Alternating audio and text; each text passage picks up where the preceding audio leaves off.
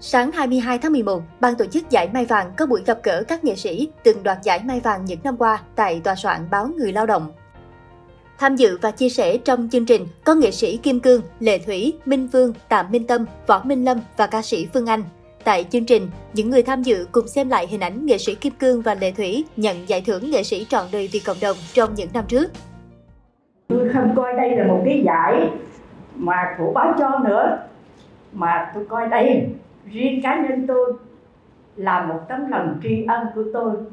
đối với một người mà tôi thương yêu nhất tạo nên một kim cương như bây giờ là má tôi Dịp này, nghệ sĩ Lệ Thủy gửi lời cảm ơn đến nghệ sĩ Kim Cương vì đã cho phép bà hát trọn vỡ lá sầu riêng bởi không phải ai cũng được nghệ sĩ Kim Cương cho diễn kịch bản này.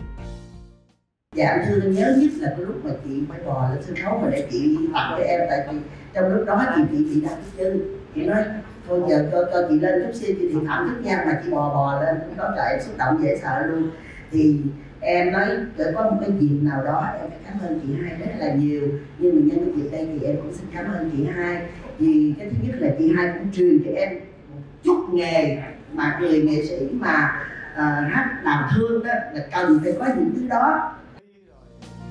Ban tổ chức giải Mai Vàng cho biết vẫn kiên định mục tiêu gìn giữ, phát huy giải là nơi để vinh danh các văn nghệ sĩ, cũng là nơi để bạn đọc gửi gắm niềm tin yêu đối với văn nghệ sĩ.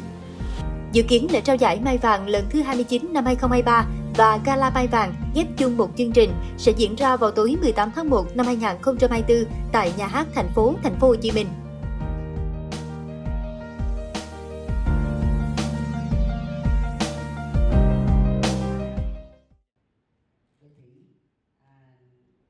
mình cố gắng để cho có một cái đề tài mới.